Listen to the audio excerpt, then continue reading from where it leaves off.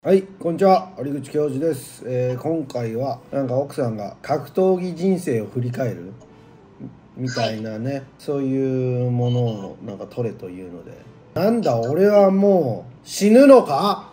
先日34歳を迎えたということで親父みたいなさ、そういう感じで雰囲気を出すな。今までの格闘技人生振り返るっていうこともあまりなかったですよねその質問とかは結構来るじゃん。なんか一番記憶に残ってる試合はとか。でも俺はいつもはいその時やるだけだからあんまり覚えてないかなみたいなそんな感じだったね。今回はこの動画で堀口教授の今までをずっと見てくださってた方そして堀口教授の過去のことを知らない方も見てくださってるかもしれないので、まあ今まで堀口教授がこういう道を歩んできたんだっていうことが伝えられたら、まあ、他ではお話ししていないようなこういうエピソードあったよっていうことが聞けたらとっても嬉しいなと思ってますはい。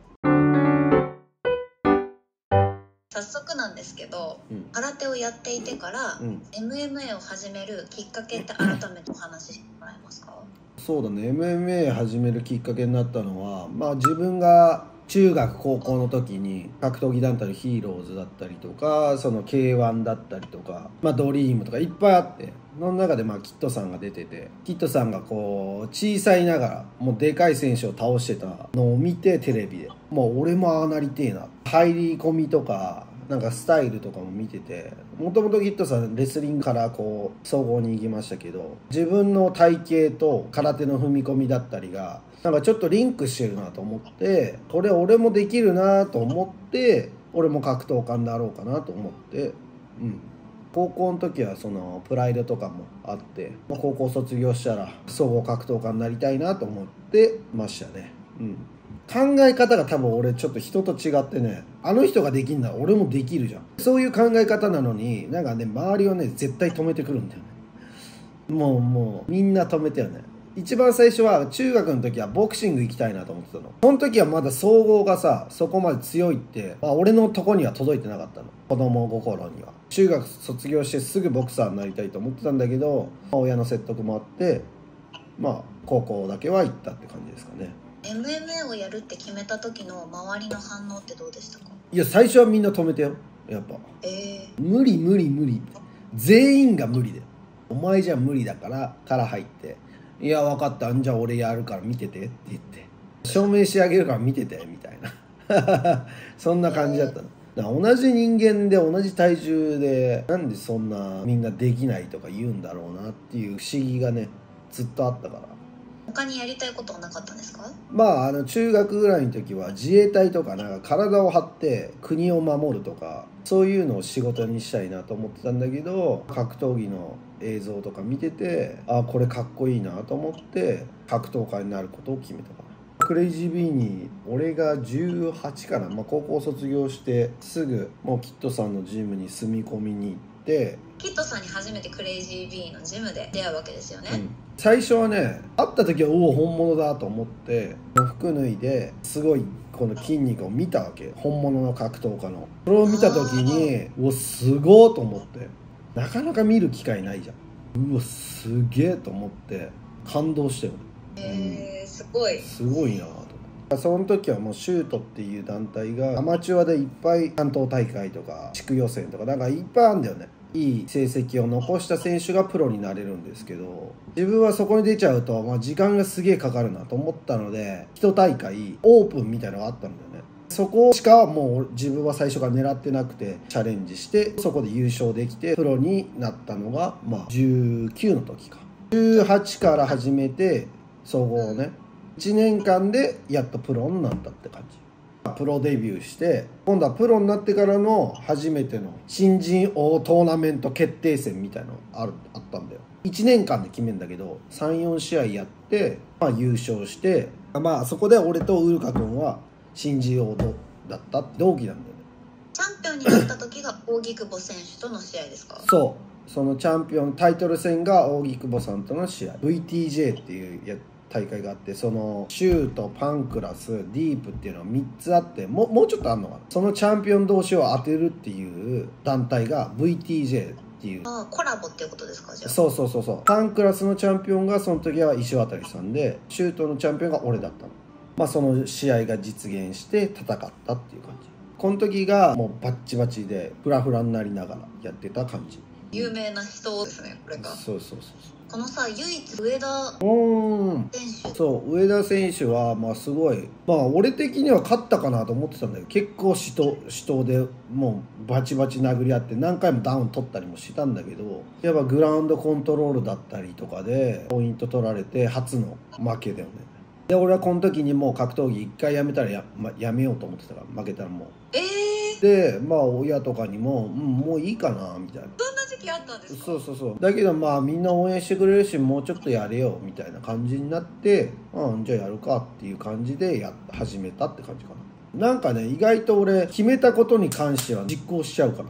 ねさっぱりしてますよね。そう。一番最初格闘技始めた時にもう1回でも負けたらやめようと思ってたからトップになれる選手っていうのはやっぱ少なくて1回の負けってすげえ遠回りすることになると思ってたの。今でもそうだけどやっぱり遠回りすることになるじゃん。何回か勝たないとやっぱまた上に挑戦できないっていうことは簡単に言えば、まあ、1年ぐらいねこうバックしちゃうことになるじゃん。だからその時はもうやめようかなみたいな感じで考えてたかな。そこから5試合を経て VTJ のセカンドで石渡さんに勝利をしてそこから UFC ですね。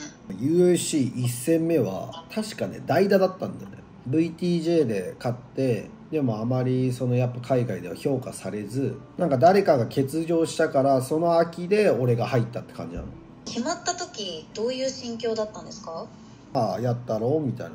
そんな感じかな。あまりプレッシャーとかはなかったんですか？プレッシャーとかはないね印象に残った試合教えてほしいです。デメトリアスにね唯一負けてるからそこかなっていう。デメトリアス・ジョンソンが上位全員ぶっ飛ばしちゃってたからちょっと下のランクの俺に挑戦権が来たっていうだけであって別になんか俺が強かったからとかじゃないかなっていうのは思ってるかな。チャンピオンになれる機会を与えられてさいややりませんなんてそんな言えないでしょ。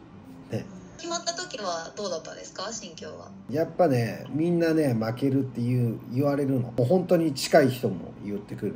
まあでも俺は別にそこも関係なく。で見事に負けたっていうだけ。なんか UFC の選手ってすごいタフだったな。もう日本人ではもう簡単に倒れるようなパンチもこう当ててもこうフラフラっとなるけどなかなか倒れなかったっていうか、まあ、頑丈だったなっていうイメージがあるかな。そしてで UFC がラライイジンにジンに乗ってきて、はいあんまりね自分からはそこまで言いたくはないけど、まあ、ニエさんがそのその時にがんになってやっぱり近くで試合にしたいなと思って日本に帰る決断をしたって感じですかね。まあいろんな要素はありましたけど自分の決め手になったのはそこかなと思います、はい帰ってきた時ニーヘンさんはおっしゃってましたか？まあなんでお前帰ってきたのにデメトリアス倒さんかいっていうのはすごい言われてましたよね。もちろんそれもあったけどやっぱりね、まあ、近くで試合を見せて元気づけたかったなっていうのもあありましたね、うん、そしてライジンに来てここから約3年ぐらいですかね。ファンとして私から聞きたい試合をいくつか質問させていただいてもいいですか、うん。メルケープ選手との試合。うん。この時なんかすごいよりオラオラしてたような気がしたんですけど。相手がこの野郎って来てんのにさやめてください。やめてくださいってさ。そうはならないと思うんですけどうんいい意味ですごい意外な一面が見れた試合だったなって煽ったりとかあまりするタイプじゃないから。もちろん盛り上げるとかそういうのはあるかもしんないけど何もないのに「おいおいおいおい」とかできないかな。俺は。なるほど。ああ。続きましてダリオン・コールドウェルとの2回の試合は何か印象に残ってることありますか？1回目は強い選手ってことは知ってたけどそこまで怖さがなかったかなもちろんそのコントロールはうまいけどまあでもすごい強い選手が来たなとは思ったよね。榊原さんも矜持負けると思ってたって毎回言うからね。ちょこちょこ俺を裏切るから。榊原さん裏切り者だ！ちょうどこの試合の前に、うん。あの試合がありました。那須川天心選手とああキックルールの試合、うん。もう本当にすごかった。もう現地で見ていて地地響きみたいな。天心くんやろうよから。雅人君やろうよっていうのをやった感じ。いやもうグッときて大変だ。そしてそう、う。ん、朝倉海選手との試合、海君と1回目の試合の時は、まあ、KO 負けしてその後、まあすぐやり返せばいいかなと思っててで試合決まってたけど人体怪我しちゃって1年ぐらいかな休んでまあその時は気持ち的にはなんかみんな焦る気持ちが多分強いと思うんですけどやっぱ俺はそういうの焦んないで。いい風に受け止めていい休み期間だなと思って期間を楽しみながら釣りばっか行きながら直したから。朝倉海選手との1回目の試合があってから、うん。すごいファンの方からいろんな声が届いたんじゃないですか？いやまあすごい届いたね。より一層元気づけられたかなとは思いますね。俺はそこで壊れたことがより一層俺を強くしたのかなとは思ってるかなまあそうだね。ベラトール契約して2連敗してペティス戦とかはもう会場がもう大ブーイングだった。俺がもう寝かしまくって。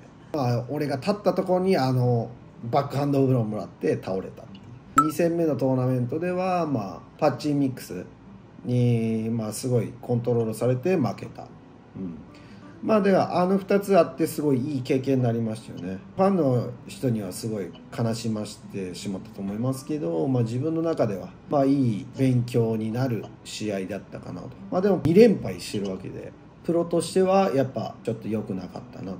まあでも俺はねそういうのも糧にしちゃうんだよね。じゃあ次やればいいじゃん。みたいなそこから雷神の方にもベラトールの選手として4試合か直近ですけどありましたけど、うん。この辺りはどうですか？今の ATT の金太郎選手とも試合してました、ね。試合はやっぱ生き物なんで何があるか分かんないしフラッシュダウンもしたし一番ね最近のペティスにもちゃんとリベンジできたしまあ格闘技人生順調かなと思ってます。はい今までを振り返ってもらってありがとうございます。ありがとうございました。改めてですけど今34歳じゃないですか？はどうですか？今後の格闘技人生は。いより一層ねベルト収集家として頑張っていきたいと思います。あベルト収集家だったんだ。そう。結構ベルトね収集してますよね。収集してるけど一個も家にはないよ。オフィスに置いといてください。絶対忘れるんで撮影の時とかって言って持って帰ってないからね、じゃあ今後も改めて。うん、収集家として頑張ります。じゃあ最後にうん聞きたいことがあります、格闘家になってよかったですか？いやよかったでしょ。こんなに俺の天職はないよ。格闘技の何が一番楽しいですか？うーん。やっぱりお互い武器も持たず人間同士体だけで戦う有利も不利もなく、まあ、そこかなと思いますありがとうございはい、あります、がとうございました。はい、ご視聴いただきありがとうございました。もう練習時間ね、すごい食い込んでるから終わりにします。またねー